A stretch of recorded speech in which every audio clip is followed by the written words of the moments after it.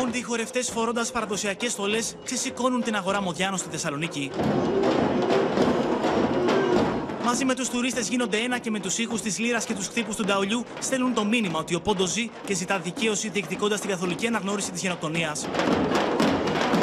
Οι νέοι είναι εδώ και μέσα από το χορό τα τραγούδια κρατάνε ζωντανή τη μνήμη δίνοντας την ελπίδα ότι με αυτά τα παιδιά και με αυτούς που έρχονται ακόμα πιο μικρότερους μπορούμε να ελπίζουμε ότι θα δικαιωθούμε.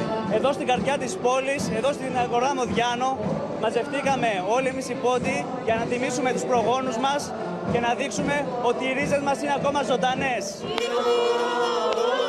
Η εκδήλωση τραγουδώντας και χορεύοντας με τον Πόντο που διοργανώθηκε από την Πανελλήνα Ομοσπονδία Ποντιακών Σωματείων σε συνεργασία με το κατάστημα παραδοσιακών προϊόντων του Πυροσκή ξεκίνησε με την κατάθεση Στεφάνων στο μνημείο του Ποντιακού Λινισμού στην πλατεία Αγία Σοφία και συνεχίστηκε με μουσικοχορευτική πορεία στο κέντρο της Θεσσαλονίκης. Χορεύουμε παραδοσιακά, τα, τα ποντιακά τραγούδια τα παραδοσιακά, στη μνήμη των αντιποχαμένων Ελλήνων ποντίων. Να κάνουμε για ακόμη μια φορά ε, σημαντική όλη την, ε, όλο το μήνα μνήμης της γενοκτονίας των Ελλήνων του Πόντου και να διαδώσουμε το μήνυμα ότι ο Πόντος ζει και δεν θα τον αφήσουμε να ξεχαστεί. Δεν το βάζουμε κάτω εμείς οι Πόντοι μέχρι τελικής δικαίωσης.